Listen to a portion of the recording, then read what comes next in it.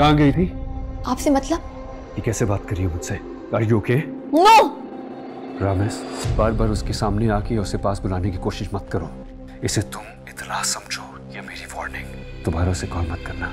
मुझे तुम्हारे पास आना है। बहुत पास। देर हो रही है। देर तो हो चुकी है। बुध शब आठ बजे।